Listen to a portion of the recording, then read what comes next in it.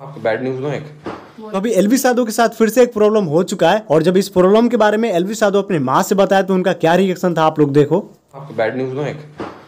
लोगों ने रिपोर्ट मार मार के एलवी यादव फाउंडेशन का पेज उड़ा दिया। सच में? आपकी कसम।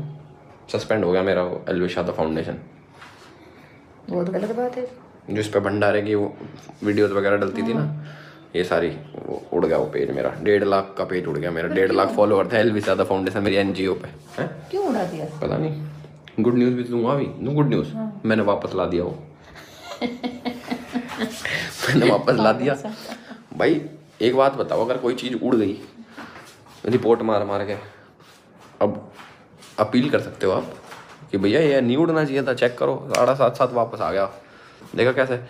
टक से छू के वापस आ गया टक से छू के। अब आपको बता दें कि ये चीज़ इनके साथ पहली बार नहीं हो रहा है। इसके पहले, जस्ट कुछ ही दिन पहले, इनका एक सिस्टम क्लोथिंग वाला पेज था जो कि कुछ इस तरीके से रिपोर्ट करा के डिलीट करवा दिया गया, जो कि शायद अभी वापस भी नहीं आया।